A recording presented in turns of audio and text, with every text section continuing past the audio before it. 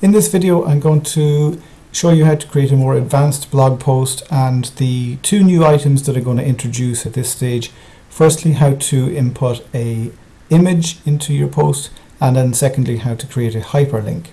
So here we've got the uh, dashboard for the things I really should do blog and I want to create a new post so I click on new post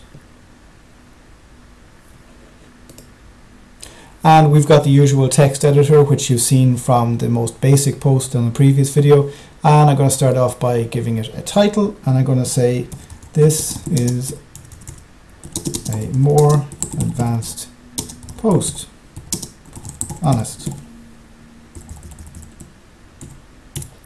So and we've got various different options here for text editing and the one I want to draw your attention to first of all is the one up here for the image, insert the image. So I'm going to click on that and I've already uploaded a file here of a tree but I'm going to show you how to do that again.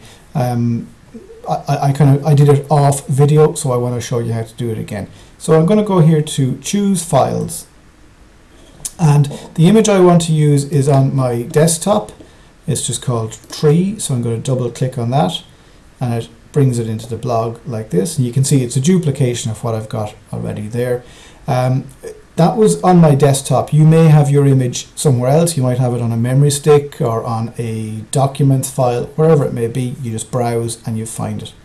It's in the blog now but it's not actually associated with that post. So what I need to do is select the image by clicking it and you can see a blue border appearing around it and then come down to the add selected button and the image appears in my blog post.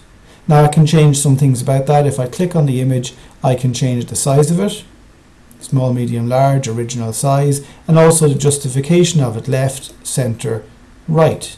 Now usually you'll probably be happiest with the uh, center justification and medium size but you'll know yourself um, so I'm going to come down here and I'm going to put some text on it and I'm going to say this is a picture of a very wet looking tree. I wonder if the weather will improve. There's one way to find out. How about looking at a weather forecast.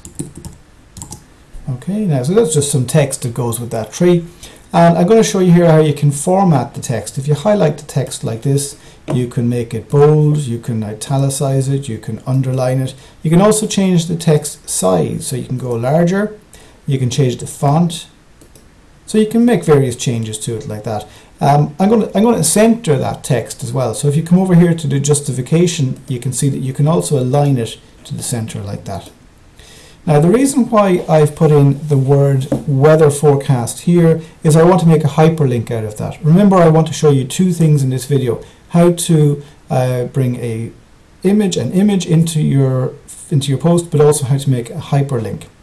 So what I'm going to do is I'm going to highlight the words weather forecast down here. Just to have them highlighted you'll see why in a second. And I've also got another tab open up here on my browser for the RTE uh, weather page. So I'm going to highlight the URL for that web address and do a right click and go copy.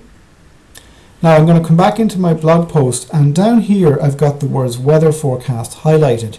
Well now that they're highlighted if I come up to the option to make a link I can click on that you can see that the text of the link is going to be weather forecast.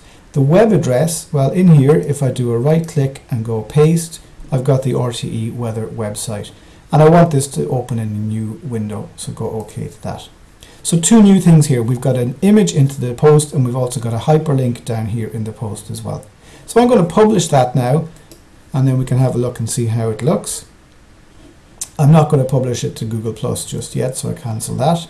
So here it is, this is a more advanced post, honest.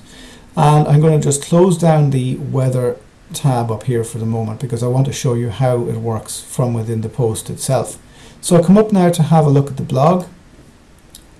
There should be two posts available to us now. We've got the original one, which was just a single line text, and we've got the one that I've just created, which is the picture of the tree. And if you have a look down here, the words weather forecast are a hyperlink. And if I click on that, my internet browser brings me straight to the weather page from the RTE website. So that's kind of handy. We've got an image in there and we've also got a hyperlink in there.